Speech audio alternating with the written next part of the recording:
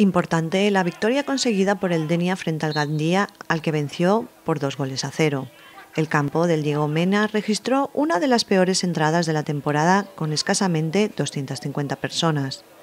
El choque estuvo claramente dominado por los dianenses que controlaron el juego y sobre todo a un rival que en todo momento se dedicó a defender su portería más que a llegar a la de los dianenses. No fue un fútbol brillante, pero al menos el Denia sacó provecho de las ocasiones que dispuso al final triunfo dianense que permite al conjunto que dirige Jesús Moratal quedarse como líder en solitario en la categoría con 44 puntos, dos de ventaja sobre el Beniganin y Alginet.